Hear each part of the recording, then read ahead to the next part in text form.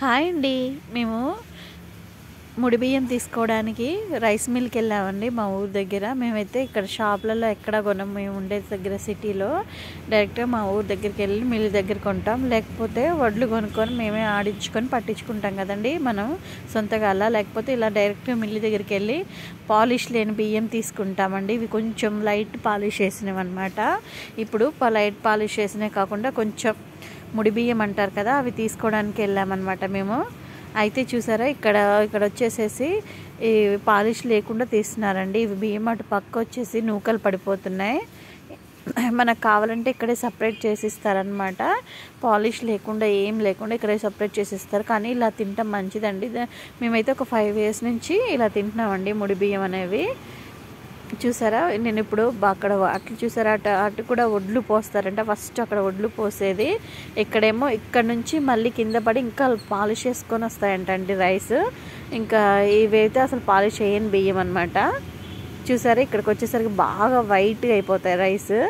మీకు చూపిద్దామని చూపిస్తున్నాను. వీడియో తీసుకొచ్చా అని అడిగితే వాళ్ళు తీసుకోవచ్చండి అన్నారు. మేము అందుకే తీస్తానన్నానండి వీడియో. ఇది రైస్ అనమాట ఇవి రైస్ పాలిష్డ్ రైస్ ఆల్రెడీ. బాగా పాలిష్ చేసిన రైస్. ఇక్కడ లోపలికి మనిషి ఉన్నాడు చూసారా? అక్కడ వేస్తారంట అండి బియ్యం. ఒక సెవెంటీ కేజీస్ అలా బస్తా బస్తా అటు పోస్తే సగం పొట్టు ఊడేసి వడ్లు ఇక్కడికి వస్తున్నాయండి. సగం పొట్టుతో ఉన్నాయి వడ్లు ఇక్కడికి వచ్చేసరికి. నెక్స్ట్ ఇక్కడ నుంచి నేను ఇందాక చూపించిన లేయర్ ద్వారా పైకి వెళ్ళి అక్కడ ముడి అసలు అంటే పాలిష్ ఏమీ లేకుండా ఒలిచినట్టు అక్కడికి వస్తున్నాయండి. ఇక్కడ చూసారా వడ్లు పోస్తున్నది.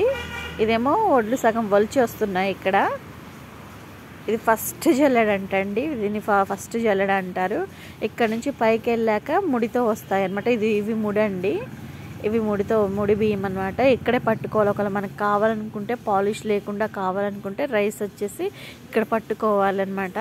మేము రెండు టిక్కీలు తీసుకున్నామంటే పాతిక పాతిక ఫిఫ్టీ కేజెస్ తీసుకున్నామండి.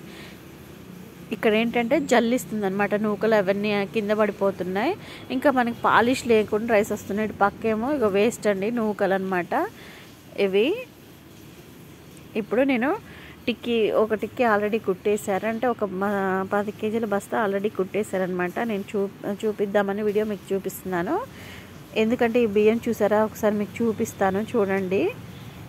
ముడి బియ్యం అంటే బై ఇలా ఉంటాయండి. అది మనం ఇల్లు దగ్గర తీసుకొని మట్టి తీసుకుంటే ఇలా స్వచ్ఛంగా ఉంటాయి. చూసారా? ఇక దంపుడు బియ్యం టైప్లో ఉంటాయండి. బాగా పాలిష్ లేనివన్నమాట. రెడ్ కలర్లో ఉంటాయి. అందుకే మేము ఎప్పుడు మిల్లు కాడే తీసుకుంటామండి. ఒకవేళ మా ఒడ్లు ఉంటేనేమో మేము పట్టించుకుంటాం. లేకపోతే ఇలా మిల్లు దగ్గరికి వెళ్ళి తీసుకుంటాం అనమాట చూసారా? రైస్ అనేవి బ్రౌన్ కలర్లో ఉన్నాయి. ఇప్పుడు కుట్టిచ్చేస్తున్నారు తను. ఇంకా రెండు కేజీలు తీసుకొని మేము ఇంటికి వచ్చేసేసామండి. ఎందుకంటే ఈసారి మేము వడ్లు తీసుకోలేదన్నమాట. మీకు చూపిద్దామని దంపుడు బియ్యం అంటే అదే ముడి బియ్యం చూపిద్దామని చూపించానండి. Please like share subscribe friends. Please like.